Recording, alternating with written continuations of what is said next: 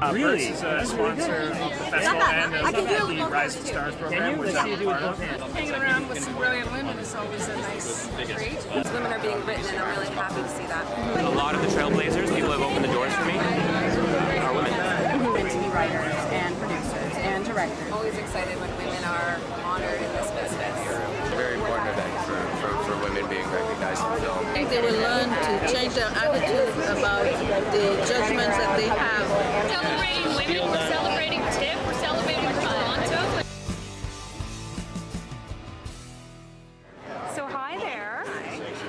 excited are you to be here today? Very excited. I'm always excited when women are honored in this business. Can you tell us about your role on Orphan Black? My role on Orphan Black is a, a very strong, kick-ass detective,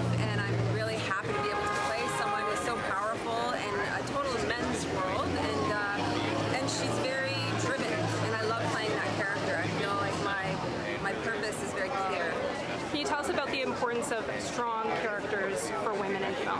Well, there's just not enough.